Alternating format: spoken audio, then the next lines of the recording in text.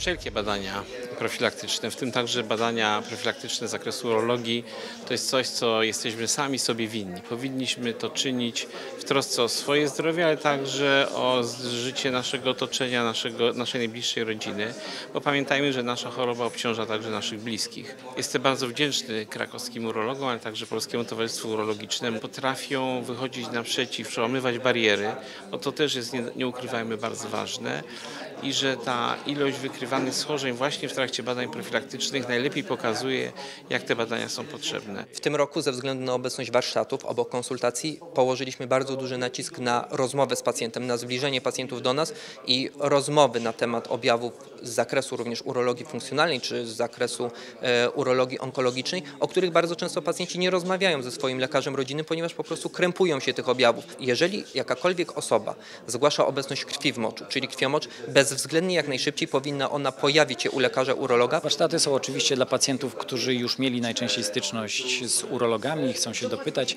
również poradzić także psychologicznie, to jest bardzo, bardzo istotne, natomiast dni otwarte wiążą się z e, możliwością, możliwością konsultacji urologicznych na ulicy Grzegórzeckiej 18. Na zakończenie tygodnia jest cały, cały szereg e, imprez, które polegają głównie na wydarzeniach muzycznych, ale także innych artystycznych.